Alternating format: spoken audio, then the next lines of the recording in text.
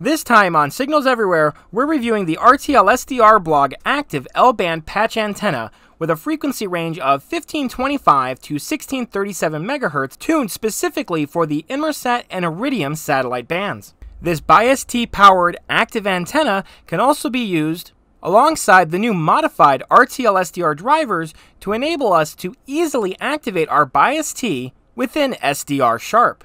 If you're interested in software defined radio and radio communications projects in general, please be sure to hit the subscribe button and smack the bell icon so you don't miss any of our future content.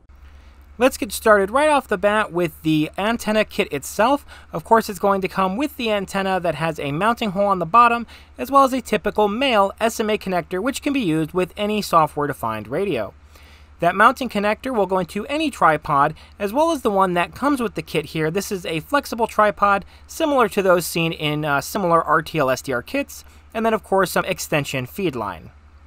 From there, we also have this nice little suction cup mount. You simply need to feed the connector over the ball mount here, and then push the ball mount into the suction cup itself, and then just screw it on tight and adhere this antenna wherever you would like.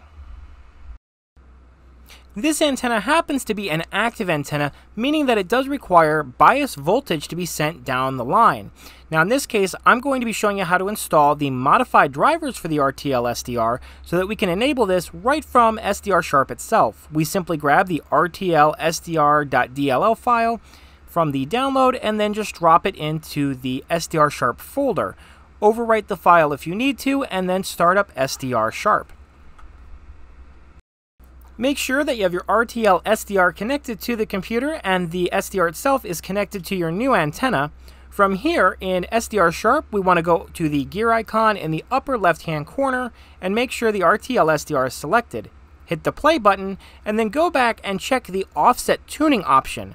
With the new beta drivers, this will enable our BIAS-T, which in turn sends power to the active Inmarsat and Iridium antenna, turning on the built-in LNA.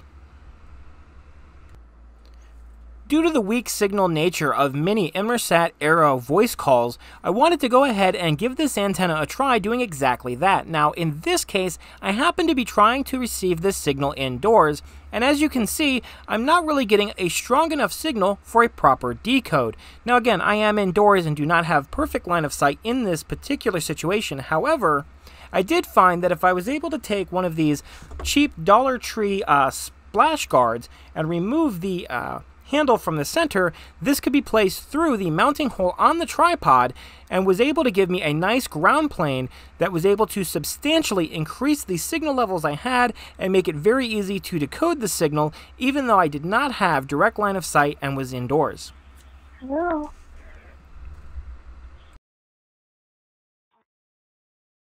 Hello. Now that we've played around with this antenna indoors a little bit, I thought it was time to take it outside and see what we can really do with a direct line of sight. Now right now the signals aren't that strong, so let's go ahead and tune them in. Here you can see I'm making use of a very simple tripod mount to make it as simple as possible to point the antenna directly at the Inmarsat satellite. As you can see, we have some pretty strong signals here. Let's go ahead and open up JAERO and see some of the things that could be decoded through the Inmarsat satellite service. While the Inmarsat Aero service itself, due to spot beams, may not necessarily have the strongest signals, as one might expect from Inmarsat's other services, these signals can be quite strong, and without a doubt, we were able to get a very, very nice decode of all of the typical 600 and 1200 bit per second channels within the Inmarsat service. Where this antenna really shines, in my opinion, however, is in the use of Iridium and tools such as the Iridium Toolkit. Typically on this channel, I try to stray away from the Iridium satellite service out of respect for the privacy of individuals who may be using it. However, if you happen to be interested in this service, I can't recommend a better antenna for the job. I've tried multiple antennas, including a modified GPS QFH antenna with a specific LNA and SAW filter, and still was not able to get better decode rates than I am with this antenna. So let's go ahead and fire up my virtual machine, and I'll show you how good some of these decode rates just happen to be. While receiving data on the GR Iridium software, if we take a look to the right hand side here, we look at our OK average. And as you can see, we are in the high 70s for this, which is a very good reception percentage. Uh, typically, I was getting between 35 and 10% prior to this, and you really do need something above 65 in order to get some decent audio captures from this particular satellite constellation, and you will no doubt have a problem doing so with the RTL SDR L-band antenna. Here you can see a little sneak peek of the Iridium decoding process. Now, for the sake of privacy, I'm not playing full audio clips here, and I'm not really showing the decoding process, but rest assured that if you're looking at playing with Iridium, this is definitely one of the best antennas for the purpose. Are you new to software-defined radio? Maybe you've been doing it for a while and you're working on a project, or maybe you just need help with something. Well, if you're not already a member, I wanted to remind you guys that we have a Signals Everywhere Discord server, which is available to anyone and everyone who's interested in software defined radio and radio communications in general. We do a lot of community projects in here, among other things, and of course, there's tons of behind the scenes content here as well. If you'd like to get involved, head over to signalseverywhere.com forward slash Discord. So if you happen to be in the market for a new Iridium or Inmarsat satellite antenna, I can tell you without a shadow of a doubt that this should be on the top of your list.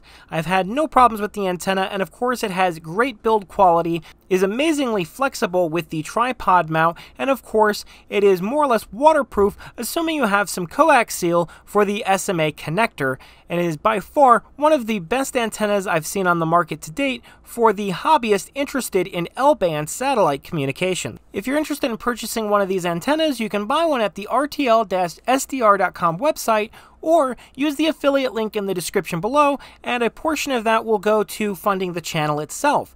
Speaking of funding the channel, I want to give a huge shout out to all of my patrons whom without I wouldn't be here doing this today. You guys have been amazingly supportive, not only financially, but also motivationally, as well as helping me kind of get through some of the rougher moments that uh, are involved with, uh, you know, trying to plan everything out and get these videos to you guys. So, huge shout out to everyone. If you're interested in becoming a patron yourself, again, look in the description below. I'll have a link over to the Patreon page. There are a ton of benefits, including early release access to content, among many other things like behind the scenes and more. So, I hope you guys enjoyed this video, and I can't wait to see you all in the next one.